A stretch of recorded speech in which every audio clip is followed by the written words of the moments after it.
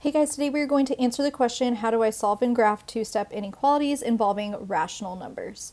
So solving two-step inequalities follow the same steps as solving two-step equations. The only difference is we must flip the inequality sign if we multiply or divide by a negative. So here are the steps. We need to undo the addition or subtraction with inverse operations to zero out the constant, and then we will undo the multiplication or division with inverse operations to eliminate the coefficient. And just remember, if you are multiplying or dividing by a negative, you need to flip the sign. And make sure that you are following all integer and rational number operation rules. All right, let's look at number one. I have 3.3x minus 12 is greater than or equal to 21. So the first thing I need to do is undo this minus 12 constant by adding 12 to both sides. That zeroes out and I get 3.3x is greater than or equal to 21 plus 12 is 33. And then I need to divide by 3.3. And 33 divided by 3.3 is 10. So the solution set is x is greater than 10. x is greater than or equal to 10.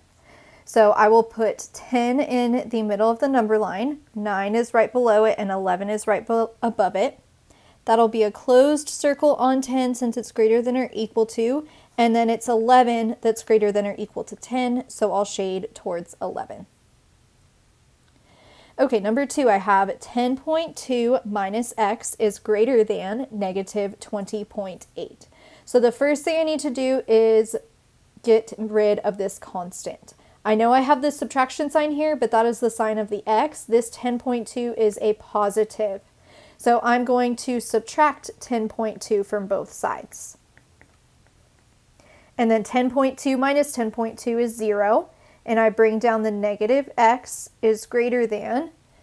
And 20.8 minus 10.2 is 10.6.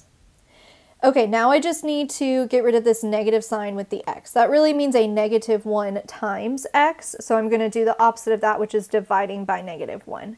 And since I'm dividing by a negative, I'll need to flip the inequality sign, so I get x is less than negative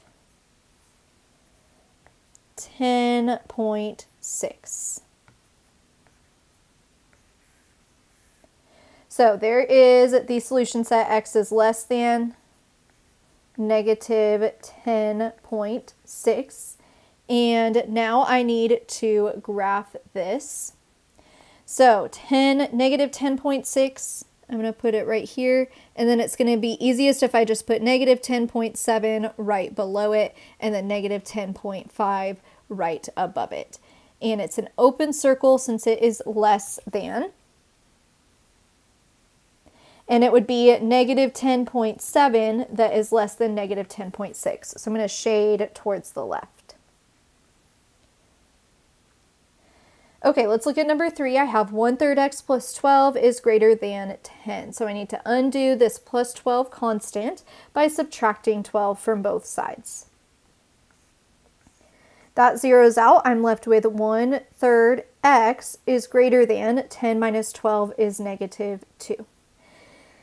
And now I have 1 third times x here, so the opposite of 1 third times x would be to divide by 1 third. Remember, dividing by a fraction is the same thing as multiplying by its reciprocal.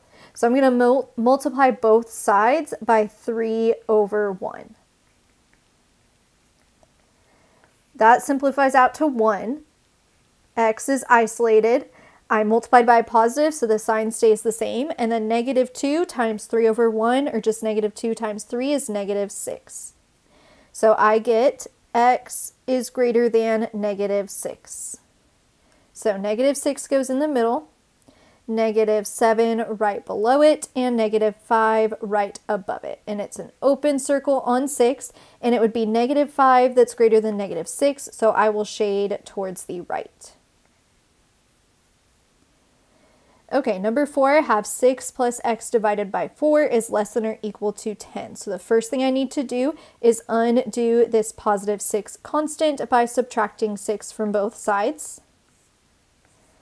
and I get x divided by 4 is less than or equal to 10 minus 6 is 4.